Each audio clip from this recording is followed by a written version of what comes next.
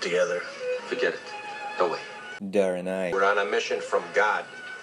I stood at the back of a cathedral, waiting in celibacy for you, with 300 friends and relatives in attendance. My uncle hired the best Romanian caterers in the state.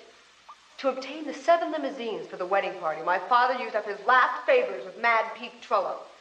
You think you can talk your way out of this? You betrayed me. No, I didn't. Honest. I ran out of gas. I had a flat tire. I, I didn't have enough money for cab fare. My tux didn't come back from the cleaners. An old friend came in from out of town. Someone stole my car.